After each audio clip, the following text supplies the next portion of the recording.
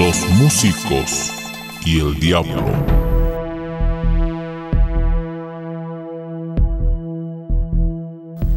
Hace mucho tiempo, en la comunidad de Tupac Amaru, del distrito de San José, el señor Juan y Catalina, su esposa, contrataron un grupo de músicos de la comunidad de Impuchi. El día de la fiesta los músicos llegaron a la casa de los alferados. La fiesta fue grande y duró cuatro días. Al compás de la música de la banda, los comuneros bailaron y tomaron hasta no poder. Cuando terminó la fiesta, los alferados Juan y Catalina, su esposa, se acercaron a los músicos, entregándoles el remanente del pago. Les dijo, muchas gracias hermanos por haber amenizado nuestra fiesta. Tiburcio se llamaba el director de la banda de músicos. Recibió con agrado las pleitesías y el pago. Luego distribuyó el dinero a todos los integrantes. Era ya de noche cuando la fiesta había terminado. Como estaban también un poco mareados, se alistaron para partir. Llevándose algunas botellas de licor, los músicos y su director se perdieron en las sombras de la noche. En el camino dejaron de tocar. Guardaron sus instrumentos, pero iban pasándose de mano en mano las botellas de licor que portaban contándose los pormenores de la fiesta. Pasaron de largo la comunidad de Collana. Llegaron donde tenían que ascender un cerro muy alto. Allí el director Tiburcio habló a los músicos. Compañeros, aquí descansaremos un poco. Nos toca subir al cerro Apacheta. Volteando el cerro llegaremos a nuestras casas. Nuestras familias nos esperan y se pondrán muy contentos. Todos se sentaron un rato se seguían pasando las botellas de licor sorbiendo el contenido, riendo de cada ocurrencia que habían tenido en la fiesta. Luego el director les dijo, Continuemos caminando compañeros. Los músicos emprendieron nuevamente la caminata. Subiendo el cerro se pusieron a cantar. Cuando llegaron casi a la cumbre, eran ya las 12 de la noche. Pero aún faltaba una pequeña pendiente para llegar al lugar llamado Patapacheta. Allí uno de ellos se quedó del grupo, para poder miccionar. El resto continuó subiendo la pendiente. Cuando por fin asomaron al Patapacheta, allí mismo se les apareció una iglesia. Los músicos asombrados se detuvieron. La iglesia tenía luz propia y era de puro oro. Su brillo era deslumbrante refulgía en medio de la oscuridad.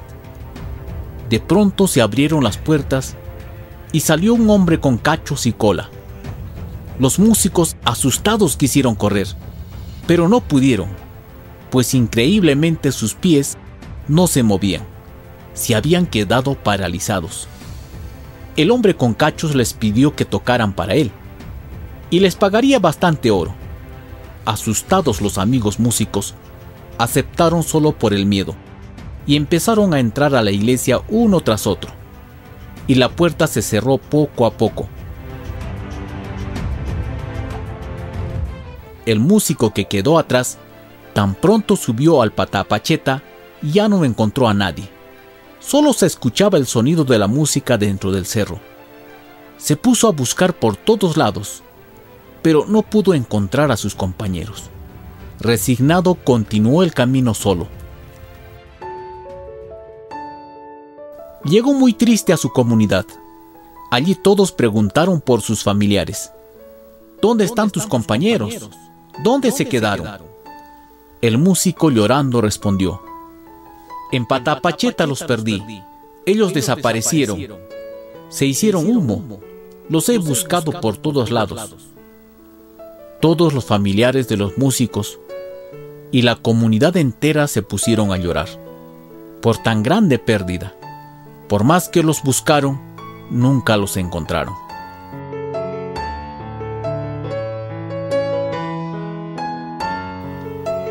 El tiempo pasó. Ya habían pasado tres años desde que desaparecieron los músicos. Una noche apareció la iglesia. Otra vez se abrieron las puertas y salieron los músicos, pero con cachos y colas. A los músicos el diablo les dijo, Váyanse donde sus familias. Ya tocaron demasiado para mí. Les pagué una inmensa fortuna.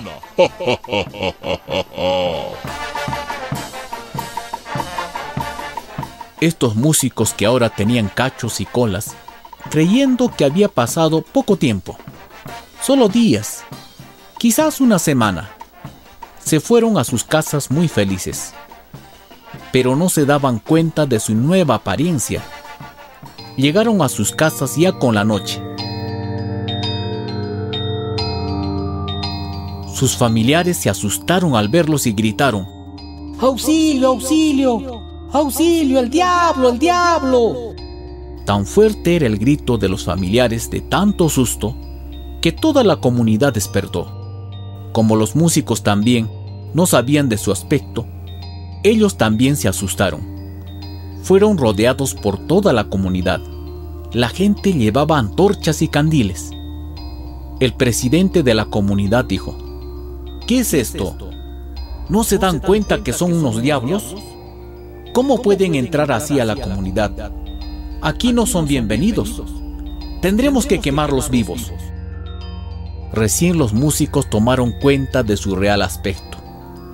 Tiburcio, que era el director de la banda, se acercó a su esposa y le dijo, Esposa mía, ¿cómo no te vas a acordar de mí? Hace días nomás fuimos a tocar a la comunidad de San José, el que está cerca de Collana. Habrá pasado lo mucho una semana. Ahora traje mucho dinero. La esposa se acercó a verlo de cerca. ¿Realmente eres tú? Si tienes cachos y una cola. Desapareciste hace tres años y yo lloré y lloré todas las noches por tu ausencia, le dijo ella.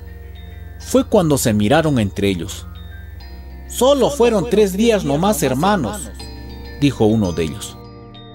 El presidente, tomando en autos el asunto, le dijo a la gente de la comunidad, Hermanos comuneros, estos son nuestros hermanos que desaparecieron hace tres años.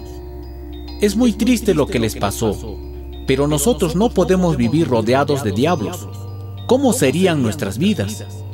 ¿Y qué nos dirían las comunidades vecinas? Que somos una comunidad de diablos. Tendrán que regresarse nomás. Y que nunca regresen. Los músicos entendiendo a la condición que habían llegado, lloraron amargos. Aceptaron la opinión de su comunidad. Tristes y llorosos partieron al exilio. Se alejaron muy lejos y nunca más se supo de ellos.